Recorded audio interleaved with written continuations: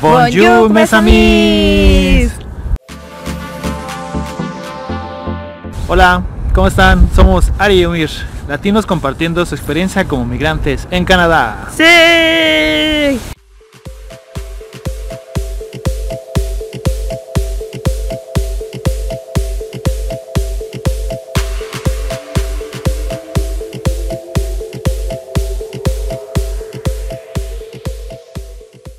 Oigan, qué frío hace. Estamos a menos 9 grados con sensación de menos 15.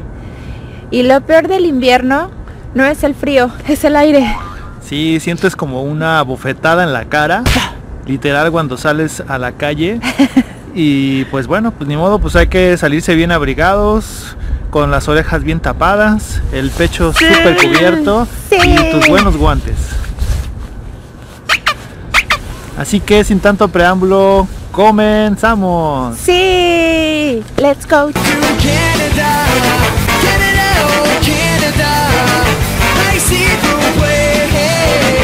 Es uno de nuestros lugares favoritos, el Oratoire, el Oratorio San Josep, tan bonito y aún ahorita en invierno está precioso. La vista es fenomenal.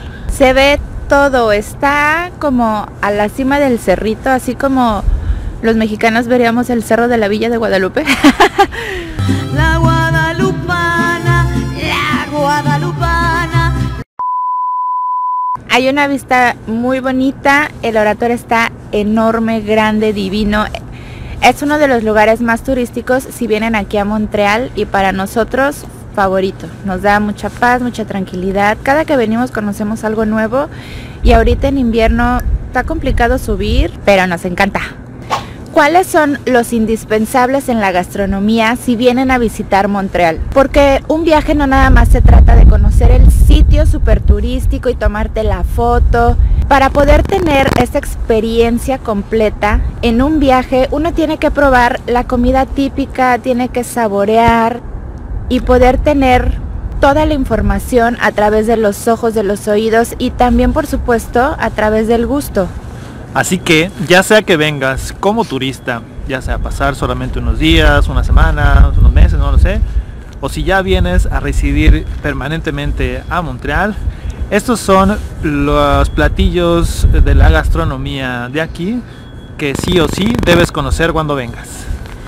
Ojo, sabemos que cuando decimos gastronomía, uno luego luego se le viene a la mente el super platillo, super elaborado. Y además en Latinoamérica venimos de una cultura súper vasta en gastronomía. O sea, tenemos gran variedad y la verdad es que muchos pudieran hacer comparación y decir, ah, pues eso no es gastronomía, está muy X. no se cierren nada más a eso. Obviamente eh, aquí es un poco más sencilla, es un poco más Pues digo, sí, no tan elaborada, y- pero pues también tiene lo suyo. El sabor es característico, este, cuando lo, lo conoces y lo pruebas, Perdón. cuando lo conoces y lo pruebas, pues te quedas con ese saborcito de decir, bueno, bastante bueno, le voy a dar una oportunidad y pues, ¿por qué no? Y aparte son, eh, eh, es la gastronomía turística. Evidentemente hay platillos más elaborados. Estos son los que si vienes tienes que conocer, aunque nada más vengas de pisa y corre. Entonces, pues empecemos nuestro top 5. Una de las cosas que no puede faltar en tu lista que tienes que hacer por primera vez cuando llegas aquí a Canadá es venir por un Tim Hortons.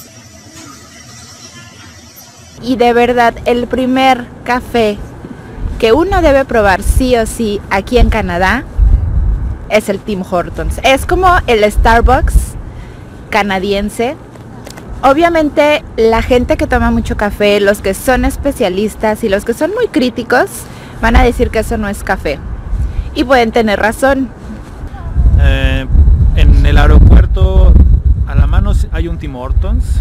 Te Sí. acercas, pides tu cafecito. Si llegas en la mañana, pues también pides tu almuerzo. Y pues pruebas, o sea, de Es alguna una- manera este, te llevas tu opinión o tu punto de vista. Ya lo probaste, ya lo conociste, ¿no? Y es una gran bienvenida cuando uno llega, va por su café delicioso, divino. A uno le sabe a gloria. Vanille francés. O French Vanilla. El segundo sí o sí de Montreal es el bagel. Es un pan muy característico, muy típico de aquí de Montreal. Están en la discusión entre cuál fue primero, si el bagel eh, neoyorquino o el bagel de Montreal. Y de los más antiguos que todavía existen a la fecha son los bagel Saint-Viateur y los bagel Fairmont. La característica del bagel montrealés es que todavía lo siguen haciendo a mano, uno por uno. Incluso hay algunos locales donde uno puede ver cómo los están elaborando. Son muy ricos. Nosotros entramos a uno de los restaurantes, eh, probamos el Saint-Viateur. Y la verdad es que es una muy buena porción. Para una pareja está perfecto. O sea que están muy bien servidos. Sí. Y pues también pides tu tecito, tu cafecito y pues te la pasas muy bien. Sí, y en estos días, eh, si vienen en invierno, cae perfecto. Y punto número 3. No es él, es la Putin. Es la Putin. Todos los que venimos como turistas, ya nos equivocamos. No tenemos idea por qué es femenino y no masculino, pero sí, aquí uno de los platillos principales es la Putin. Es un platillo hecho de papas fritas con queso en granos. eh, regularmente es queso cheddar y con una salsa eh, de carne que es un gravy que mantiene el platillo calientito. Así mismo hace que el queso se derrita un poco más, pero ya hay otras mezclas con carne, con verduras y pues bueno, ya cada quien le añade su toque, ¿no? Claro, es el, el clásico es así, pero uno ya le puede ir adicionando lo que quiera. Y dentro de los restaurantes más famosos aquí en Montreal está La Banquise. O sea, cuando nosotros llegamos y dijimos, a ver, recomiéndame el restaurante donde de verdad me puedo enamorar de la Putin. Y nos recomendaron La Banquise. Es el más famoso, es el que está todo el tiempo así, Sí, sí, súper sí. lleno. Haces fila de varios minutos para entrar y así esté nevando, pues ni modo, te esperas afuera hasta que hay un espacio disponible para que entres. y es 24 horas. Entonces hay Putin todo el tiempo. Sin embargo, Nosotros conocimos otro lugar que también se especializa en Putin, la Putin, que es Putinville. En lo que nos gustó de este lugar, aparte del ambiente que se vive ahí, que sí es como que más de un restaurante como tal. Este, pues es el servicio, los espacios entre mesa y mesa, pues te permiten eh, pues comer sin que tengas a una persona a un lado casi casi ahí apretándote y viéndote cómo comes. como en la banquise, Y pues también el menú y la carta eh, bastante recomendables. Puedes ir armando tu platillo a tu gusto, con el queso que tú selecciones, con la papa como tú la quieras, ya sea frita, en gajos. nosotros les recomendamos la papa en gajos.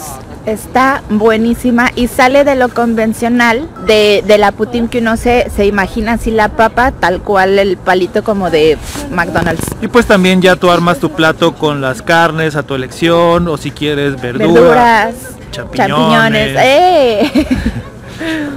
jamón ahumado. Pues bueno, tú lo escoges Lo como quieras. tú quieras. Ojo, como uno puede armar su putín, entonces te dan una tarjetita donde tú vas poniendo, quiero esto y esto y esto. Si son súper atascados como nosotros, de poquito en poquito se les puede ir su cuenta hasta 40 dólares por una sola putín. Entonces nada más aguas con eso. Nosotros lo que hacemos es pedir un grande en pareja y le ponemos máximo tres ingredientes, una carne y dos verduras. Y así sabe delicioso. A nosotros nos encanta el queso suizo, mm, riquísimo para que se derrita en tu platillo. Ya con todos los condimentos, pues el putín queda mm, genial. Bien rico. Oiga, nuestro punto número 4, que sí o sí tienen que probar. No sé si en todo Canadá. Debe de ser, por lo menos en Quebec sí. Son las colas de castor. Es un pancito alargadito, literal como una colita de castor.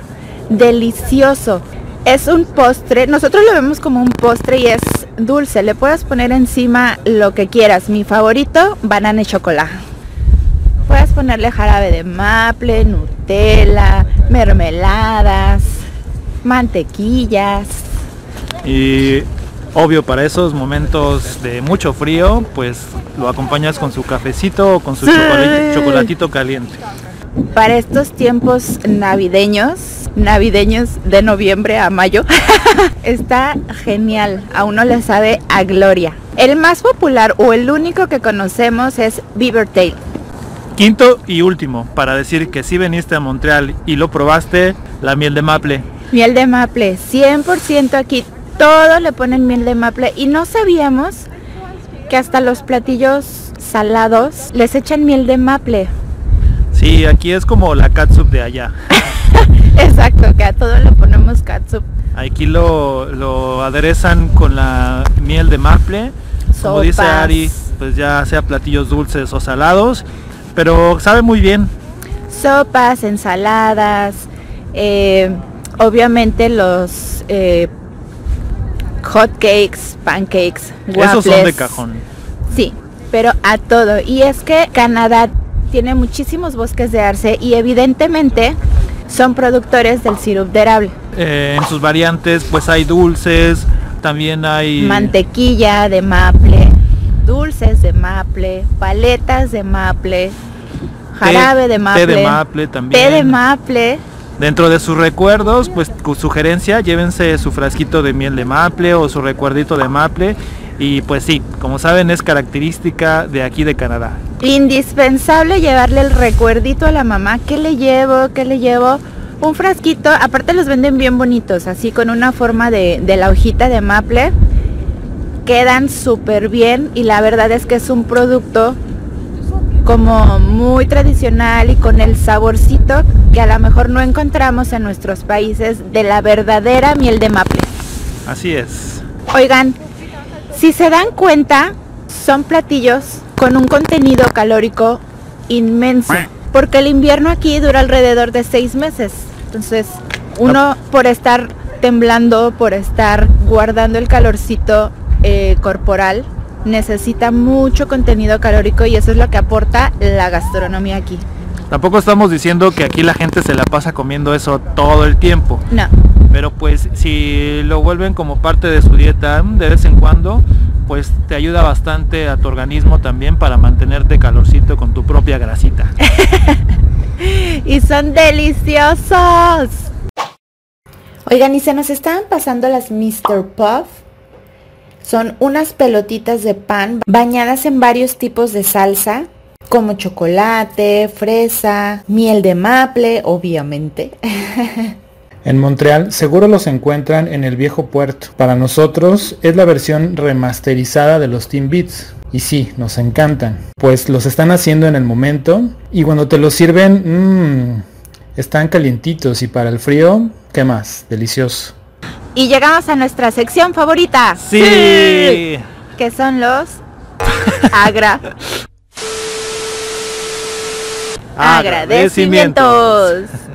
Oigan, eh, esta vez el agradecimiento va para Christopher. Gracias por tu comentario.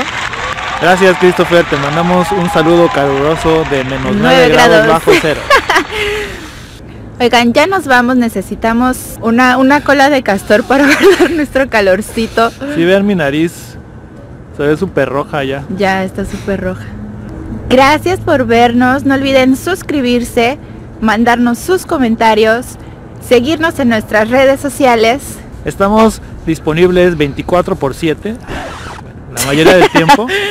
Siempre estamos al pendiente de nuestras redes sociales. Nos vemos en el próximo. A la próxima. Au revoir. A bientôt. A plus tard.